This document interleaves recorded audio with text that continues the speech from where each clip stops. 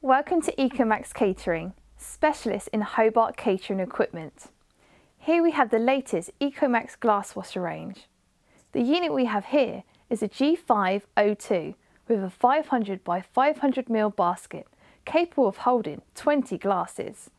The smaller G402 has the same specification, the only difference being the smaller 400 by 400 ml basket capable of holding 16 glasses and varying cycle times. Manufactured in Germany at Hobart's prestigious factory and with improved specification, efficiency and durability, these glass washers make a great addition to any bar or glass wash area.